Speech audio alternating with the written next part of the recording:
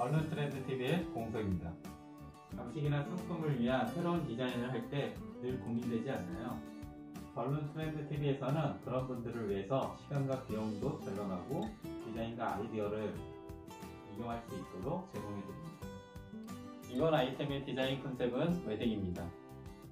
웨딩 컨셉의 포인트로 사용한 브라보 은박 풍선인데요.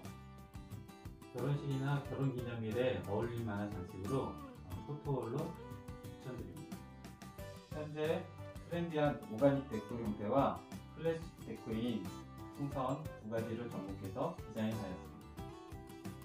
신랑 신부 은박 풍선을 봤을 때 이 부분이 좀 더 화사하고 사랑스러운 느낌을 주기 위한 색깔로는 좀 밝은 느낌의 풍선이 필요해서 화이트와 핑크톤으로 기본 배색을 잡았고요.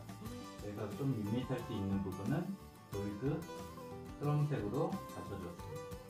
디자인 아이디어를 찾기 위해서 인터넷 서치를 하거나 또 샘플을 만들기 위한 시간과 비용이 많이 발생하게 됩니다. 그 과정에서 타인의 디자인이나 아이디어를 섭취하게 되는 경우가 있습니다. 마음의 부담이 되지 않나요? 얼른 트렌드 TV에서는 그런 분들을 위해서 시간과 비용도 절감하고 디자인과 아이디어를 이용할 수 있도록 제공해 드립니다. 얼른 트렌드 TV 유료 회원분들은 저희가 제공하는 디자인과 아이디어를 비즈니스 활동에 마음껏 사용할 수 있습니다. 얼른 트렌드 TV에서 제공하는 디자인을 비즈니스 활동에 그대로 쓰셔도 되고요. 약간의 변화를 주어서 사용하셔도 시간과 비용을 추가적으로 높일 수 있습니다. 얼른 트렌드 TV에서는 매월 새로운 컨셉과 디자인을 지속적으로 제공해.